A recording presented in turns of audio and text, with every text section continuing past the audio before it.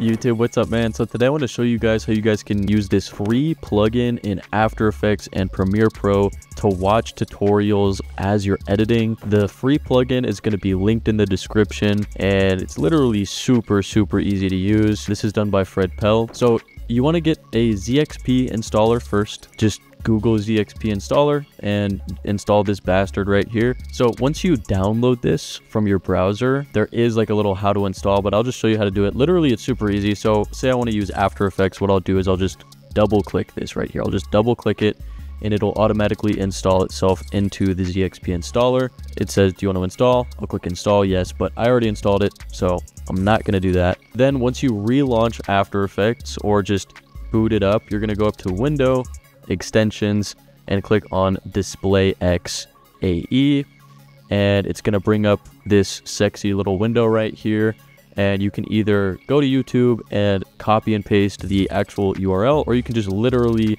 use the YouTube search engine directly in here. And if I want to look up a tutorial, look up Jamo VFX, say I look up Fred Pelle, so I can literally follow along while watching it and have my window right here so I don't have to keep flipping back and forth between my browser and After Effects so I can just make it super easy, simple. And again, this is free, so this is great uh, sauce as they call it. And, and if you guys want to make cool printer effects like this on the screen, go check out that other tutorial. So yeah, man, that's about it. I appreciate y'all boys. Peace out.